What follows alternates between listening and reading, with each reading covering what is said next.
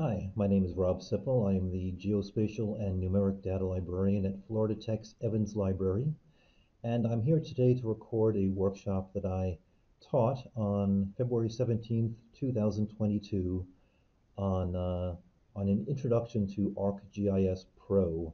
ArcGIS Pro being the latest generation of the Geographic Information Systems application that is marketed by the Esri Corporation of, uh, I believe, Redlands, California. Uh, the workshop, as I taught it, consisted of two parts, an initial uh, lecture part describing a little, little, bit of a background and theory behind GIS, um, followed by a hands-on workshop. Uh, this recording will cover the first part of that, the lecture part. It will not include the, the workshop because uh, that was um, a bit lengthy, and to record all that would result in a rather lengthy um, recording. So um, I will, however, provide my contact information uh, at the conclusion of this, of this recording, and I would be happy if you wish to provide you with any of the materials needed to do the hands-on exercise on your own. So, uh, in case you are new to the subject of Geographic Information Systems, which is usually just referred to as GIS, uh, it's a kind of um, a partnering up of data, uh, specifically what's known as geospatial data, with a relational database and maps. Um, so the uh, it's used for doing data visualization and analysis. Uh, the relational database, um, one example that comes to mind, and, and, there are many examples on the market right now, but one example that comes to mind is uh, um, Microsoft uh, Access that comes as part of the Microsoft Office uh, suite of, of uh, applications. Um, geospatial data is uh, any data that is somehow a function of geographic location on planet Earth. And uh, as I'll describe in some of the upcoming slides, that can take a variety of different forms, but at the heart of it, it's basically you've got a location and there is some kind of um, quantity or something you're measuring that applies to that location. And the mapping is simply maps, which I think most of you are probably familiar with and on some level.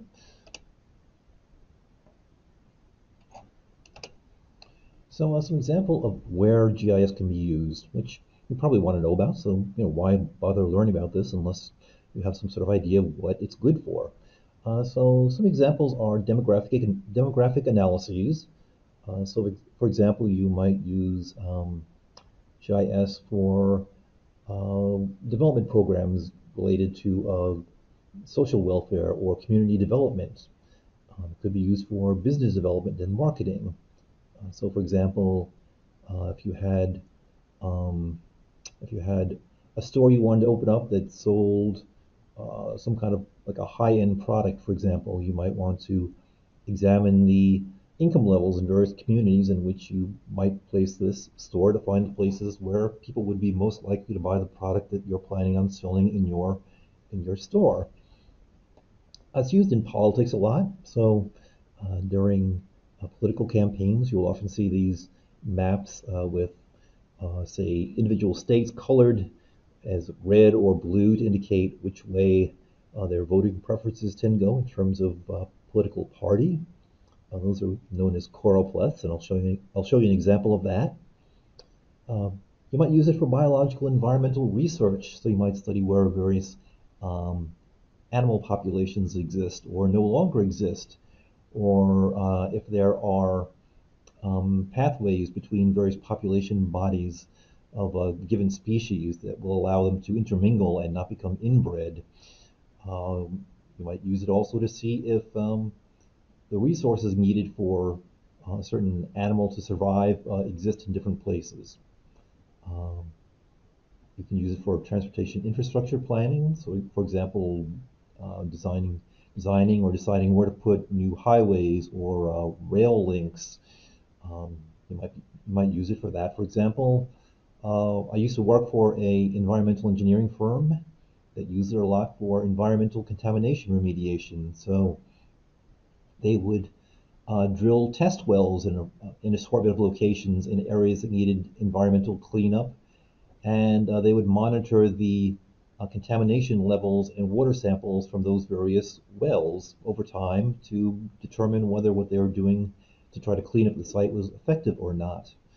Um, and so again, you've got you've got wells, you've got the location for those wells, that's the geospatial element of this, and you've got quantities associated with those locations, which in this case would be, say, parts per million of a certain chemical that you're concerned about.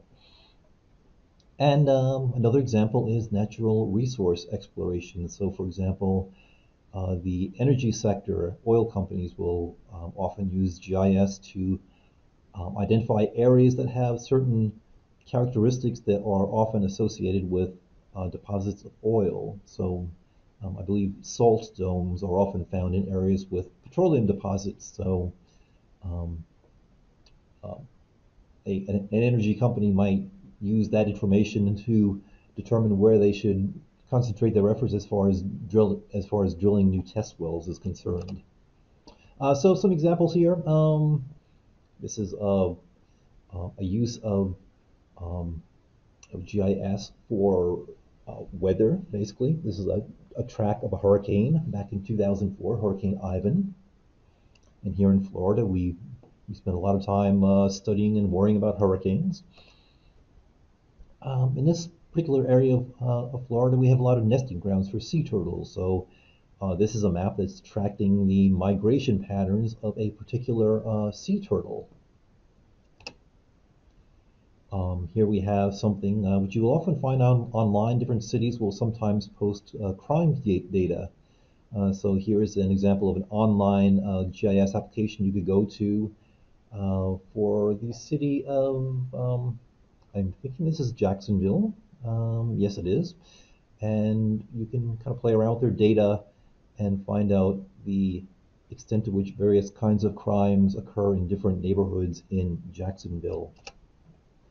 Uh, so I mentioned before the use in uh, in uh, politics. This is a choropleth, which is basically a color-coded map um, showing voting patterns during the 2016 presidential presidential election. Um, an example of light pollution. Uh, if you were into uh, stargazing, for example, the, um, the, the astronomy club here at Florida Tech uh, does a lot of um, little field trips to um, to uh, kind of search out various uh, um, stars and other bodies in the night skies. Uh, they will try to find areas with a minimal amount of light pollution so they can more clearly see the the objects that the objects that they're targeting. So here's a map using GIS of light pollution. Uh, this is a very kind of localized use of GIS. This is a map of a mall. So what was done here was uh, they measured the levels of foot traffic uh, in different locations of the mall. So the areas here with um, more of a reddish color have high foot traffic.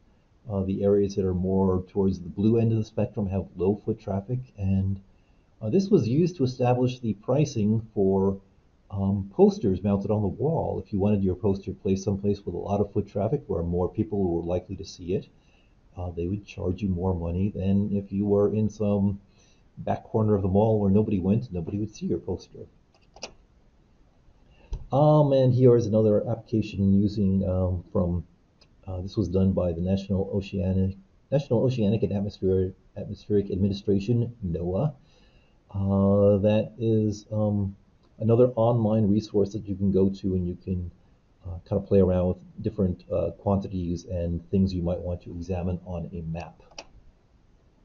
So a little bit of theory behind uh, GIS. Um, to know to use GIS, you should at least have a, a basic understanding of what are known as datums and projections. So, uh, as I think most of us know, uh, the planet Earth is a three-dimensional object. Um, and at least when I was a kid, I'm not sure if it's true anymore, but when I was a kid, uh, in pretty much every school I went to, the classrooms had globes of planet Earth. Um, and looking at these, you might conclude that um, the Earth is a perfectly smooth spherical object. Um, and uh, that's not exactly correct. Um, the Earth is actually a what's referred to as a spheroid, uh, which means basically that it's close to being a sphere, but it's not quite a sphere. Uh, so if you were to measure the distance around the Earth going through going along the equator, you'd find that uh, is somewhat um, somewhat longer than the circumference of the Earth if you drew a line through the North and the South Pole. So uh, from that perspective, um, you might say that uh, the planet Earth, its shape is somewhat more resembling a tangerine, say, than a navel orange. Uh, and of course, uh, the Earth is not by any means smooth. Um, here in Florida is rel- relatively flat, so I guess here we come as close to a smooth Earth, Earth as anywhere. But uh, overall, the Earth has lots of contours, as shown in this picture. Um, so that's the, the three-dimensional representation of the Earth is what is called a, a datum. Um, but most of us, um, on a day-to-day basis, don't look at representations of the Earth in three dimensions. It's much more convenient to look at it represented in two dimensions as a flat surface. So on, in say, an atlas, a traditional paper atlas, or on the or on the screen of a of a computer, as you're probably doing right now. Um, and because of the simple fact that the Earth is really three dimensional, um, if you choose to look at it as though it were two dimensional, you're, you're kind of um, you're kind of kidding yourself, and and you have to make some sort of concessions um, to represent it in that form, and as a result, any two-dimensional, any flat representation of the Earth is um, inherently an approximation. So the process by which you convert a datum, a three-dimensional representation of Earth, to a um, to a two-dimensional representation of Earth is called a projection. And as I said, um, any projection involves making some concessions in terms of accuracy, and those um, inaccuracies can take the can take the uh, the form of uh, the, the shape of the bodies represented, the areas that they cover, distance between different uh, geographical features, and the directions between different geographical features. So because of this, uh, you have different projections that are um, basically designed for different purposes and that try to minimize the uh, the inaccuracies in one of these areas while um, accepting in inaccuracies in others. Um, so, just as an example, um, all, all of the states in the United States have what are known as state plane projections that are designed to represent those individual states as accurately as possible.